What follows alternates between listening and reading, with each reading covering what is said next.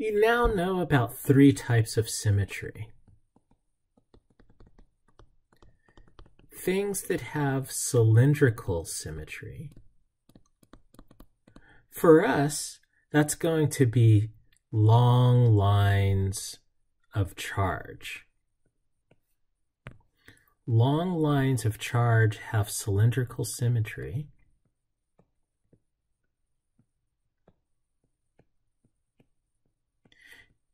And the electric field due to a long line of charge will also be spherically symmetric or cylindrically symmetric. Sorry about that.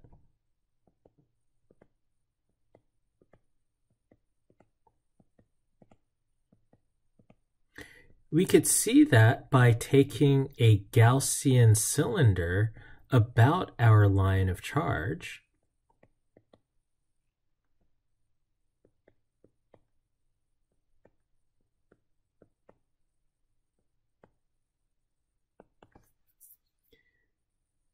We could observe that cylindrical symmetry by taking a Gaussian surface about our line of charge that, and that such that the surface is a Gaussian cylinder and we would see that the electric field everywhere on that surface is uniform if our line of charge is lies right along the central axis of our cylinder.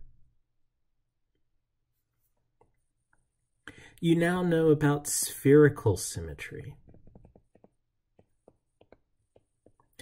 Point charges and spheres have spherical symmetry.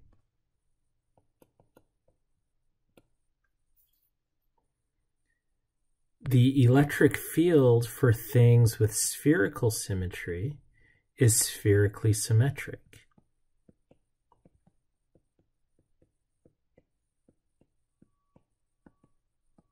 What that means is if you take a Gaussian sphere where the charge is at the center of the sphere, the electric field everywhere on the surface of that Gaussian sphere is constant in magnitude and constant in direction if you take the direction relative to a vector that is normal to the surface of the sphere.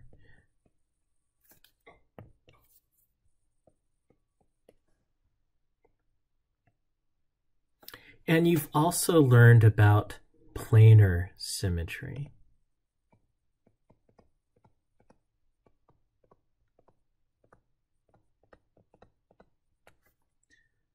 Planes or sheets of charge have planar symmetry.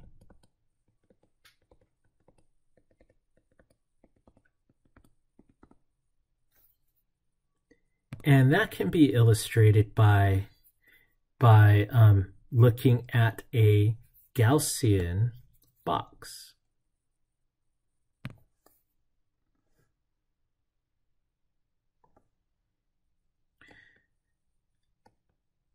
Charges with planar symmetry have a uniform electric field about them. That electric field is constant in magnitude and in direction on either side of that plane of charge. A Gaussian box that passes through the plane of charge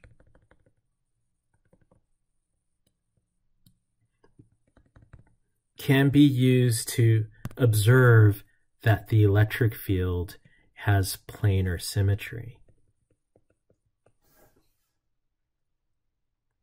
These types of symmetry will form an important part of being able to do calculations with Gauss's law.